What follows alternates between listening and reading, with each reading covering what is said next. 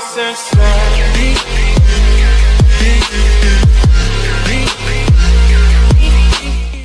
El proyecto de presupuesto del presidente Andrés Manuel López Obrador planea una reducción de 24,4% para el desarrollo, conservación y eficiencia de la infraestructura carretera, de comunicaciones y transportes, recorte que pegará a las megaobras que tenían proyectadas algunos estados, así como al mantenimiento de varias de ellas, de las que más presumen los gobiernos locales.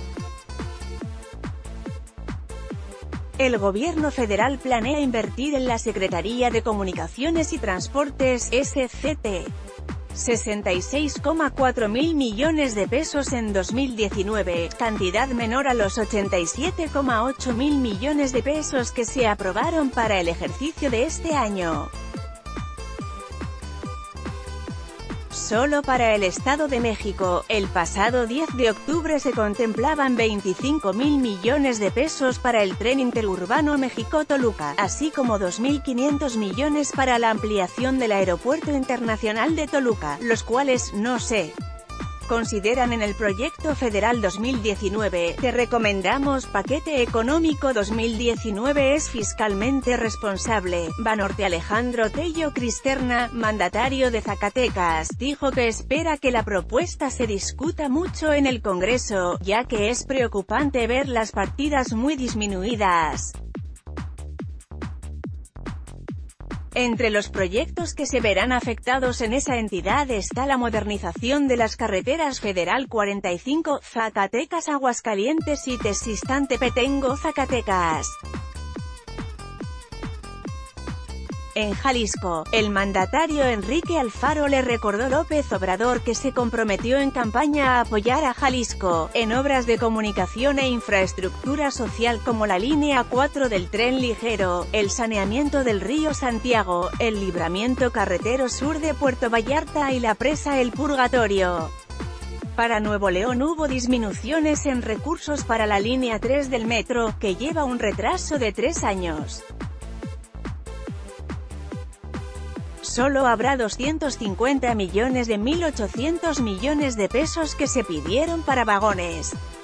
Para las líneas 1 y 2 se comprarán 24 carros alemanes usados con inversión de 38,4 millones de dólares, independiente al apoyo federal. En Aguascalientes, el gobernador Martín Orozco dijo que habrá algunas obras que tenían registro en Hacienda, caminos o carreteras nuevas o modernizaciones muy pequeñas, mientras en Oaxaca el titular de la Secretaría de Infraestructura, Fabián Herrera, informó que se suspendió la construcción de la autopista a la costa, pues la SCT suspendió la adjudicación de la construcción de los cuatro tramos carreteros faltantes.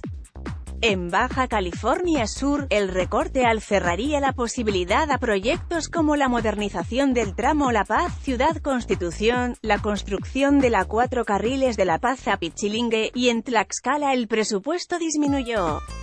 650 millones para la carretera Texcoco-Zacatepec, es una enorme decepción de la federación, el presupuesto está dedicado a ganar la próxima elección, redireccionando los programas asistencialistas y terminando con la infraestructura y la inversión para los estados. Está siendo un instrumento de estrategia política para la formación de una base popular al próximo gobierno, comentó sobre el tema el gobernador de Chihuahua, Javier Corral.